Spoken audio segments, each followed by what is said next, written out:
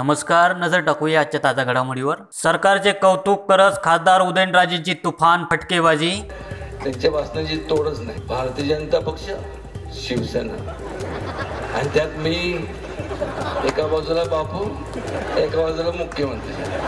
काँग्रेस प्रदेशाध्यक्ष अशोकराव चव्हाण यांचे सरकारवर जोरदार ताशेरे. देण्यासंदर्भात सरकारने केलेल्या खोट्या घोषणा त्याची अंमलबजावणी न होणे बेरोजगारांचा प्रश्न राज्यामध्ये मोठा. त्याच्याबद्दलही दोन कोटी रोजगार दरवर्षी देऊन देशात आघाडीचे सरकार येईल राधाकृष्ण विखे पाटील. कुठंच नाही आहे या जागी सुद्धा नाही आहे. जसे की कोणत्या आघाडी करताना दोन्ही पक्षाच्या कडून जी मागणी येते किंवा कोणत्या जागा कोणत्या पक्षाने लढवायच्या मला असं वाटतं की आता आपल्या प्रदेश काँग्रेसच्या स्तरावर त्या संदर्भामध्ये राष्ट्रवादी काँग्रेस आणि महाराष्ट्र प्रदेश काँग्रेस कमिटी. या दोन्ही अध्यक्षांच्या स्तरावर चर्चा सुरू आहे. सरकार शेतकऱ्यांना अडचणीत आणण्याचा प्रयत्न करत आहे धनंजय मुंडे यांचा आरोप. त्या सर्व शेतकऱ्यांचा अनेक दिवसापासून तिथल्या एम आय डी सी संपादनासाठी विरोध आणि असून सुद्धा एम आय डी सी आणि उद्योग विभाग त्याकडे दुर्लक्ष करत असल्यामुळे त्या खंडाळ्याच्या सातारा जिल्ह्यातील शेतकऱ्यांना अल्पनिर्णय मोर्चा काढायचा निर्णय केला. निमंत्रण पत्रिकेत आमदार मेटेंचे नाव न टाकल्याने डॉक्टरांना मारहाल. शांतिगिरी महाराजांचे घृष्णेश्वरांना साकडे.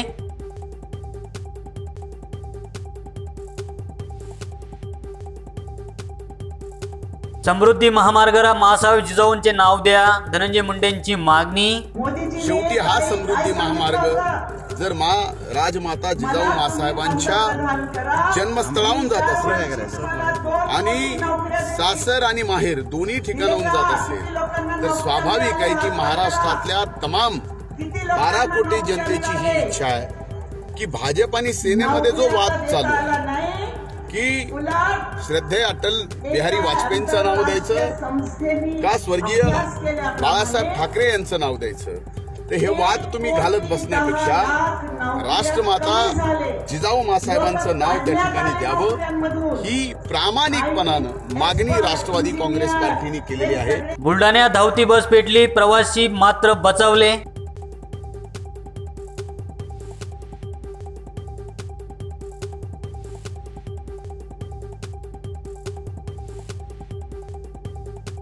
ठाण्यात बोगस फार्मासिस्टला अटक? आपल्याकडे अर्ज आल्यानंतर त्या अर्जाचं आपण चौक सखोल चौकशी सुरू केली. त्यानंतर आपल्याला असं आढळून आलं की ठाणे शहरामध्ये असे चार ते पाच मेडिकल शॉप आहे की ज्या शॉपवरती जे लोक काम करतात त्यांच्याकडे बोगस रिफॉर्मचं सर्टिफिकेट आहे आणि राहुल गांधी देशात कुठल्याही जागेवर निवडून येतील? सुशील कुमार शिंदे?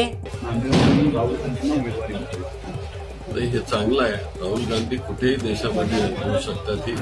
आमच्या काँग्रेसमध्ये इंदिरा गांधी सुद्धा निरनिरा ठिकाणी उभे राहून निवडून येत होत्या. सरकारने दिलेली कर्जमाफी फसवी खासदार चंद्रकांत खैरे. माननीय उद्धवजींनी तेच सांगितलं की प्रत्यक्षात जाऊन त्या ठिकाणी याची सगळी माहितीच घ्या काही प्रमाणात आम्ही आता लेजर अकाउंट पण पाहणार खेळचे पण आता सिद्धांतचे जसं ते लोन इतकं आहे इतकं माफ झालं की नाही कारण बीडला असा प्रकार झाला होता की त्याचा सर्टिफिकेट त्याला मिळालं. परंतु त्याच्या खात्यात पैसेच होते आणि कर्ज होतंच माफ झालंच नाही. आणि हा असा प्रकार जो होतोय त्या प्रकारासाठी आम्ही प्रत्यक्ष आम्ही सगळीकडे जातोय. फुलंब्री तालुक्यातील सीआरपीएफचा जवान अपघातात ठार